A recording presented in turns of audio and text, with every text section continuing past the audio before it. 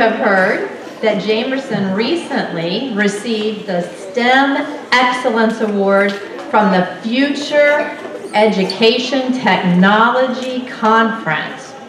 Big words. What does that mean? We're number one. Oh, right? The STEM Excellence Award excellence and innovation in the field of science, technology, engineering, and mathematics education. Hundreds of applications from all over the country were submitted to these people who read through all of the applications and they chose us as the number one elementary school in the whole country. Wow. As one of the original core team members, that means I've been here forever, I'm old, I was asked to present this award to not only the people sitting behind me, but to all of you. So I'm going to take a minute to talk about these people and about you. This staff has worked so hard for so many years to reach our goals.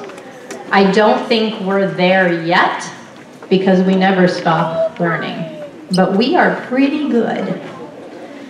This amazing accomplishment is the result of 13 years of collaboration between our dedicated staff and our many partners, including Pinellas County Schools, Magnet Schools of America, and the University of South Florida College of Engineering, and the Florida Engineering Society, as well as others. Most of all, this award goes to our students and families, whose diverse backgrounds and perspectives improve our program every year. We are honored today to have in attendance all of our current and former school principals, each has contributed significantly to our program's success. Mr. Bob Poth, what to say? Our current area superintendent was our first principal. He opened Jamerson in 2003, and together with the staff, eager to break away from the traditional school setting he guided the school and helped us stay true to our current or to our vision and turned our dream into a reality. Mrs. Mary Jane Dan, the principal from 2006 to 2014, helped strengthen the program.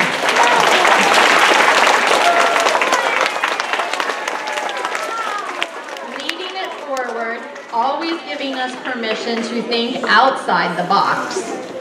She continues today to encourage us, and most of us see her at least once a week.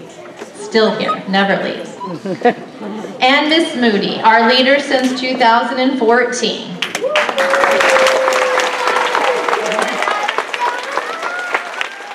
With Mrs. Macon, they continue to provide support and challenge us to reach, reach even higher. This award belongs to all of us. The principals who led, the teachers who create and take risks daily, the parents for believing in us, and most of all, you, the students.